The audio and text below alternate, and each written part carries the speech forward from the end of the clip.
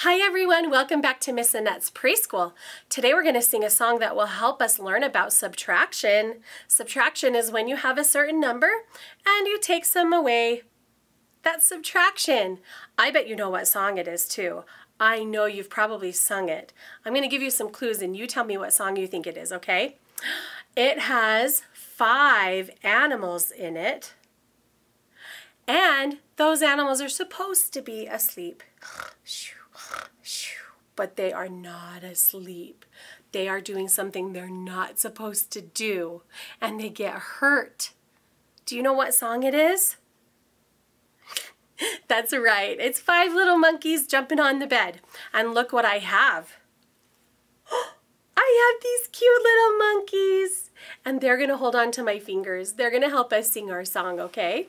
So there's a one monkey, two monkeys. I have them in my apron pocket. Three monkeys, four monkeys, and we need one more to make five monkeys. Okay, let's sing our song. Here we go. Ready?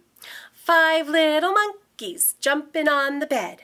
One fell off and bumped his head. Mama called the doctor and the doctor said, no more monkeys jumping on the bed. How many are left? One, two, three, four. Four monkeys. Four little monkeys jumping on the bed. One fell off and bumped her head. Mama called the doctor and the doctor said, no more monkeys jumping on the bed.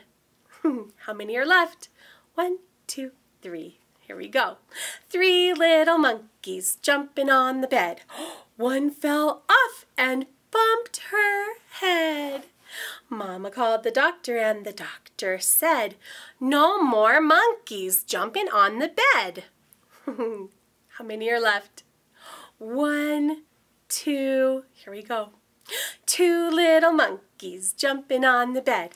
One fell off and bumped his head. Mama called the doctor and the doctor said, no more monkeys jumping on the bed. How many? One. One is left. Here we go.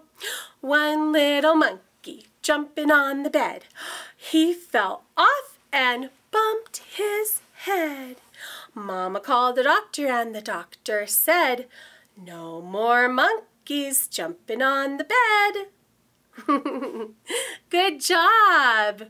Thank you so much for singing with me today. I'll see you next time.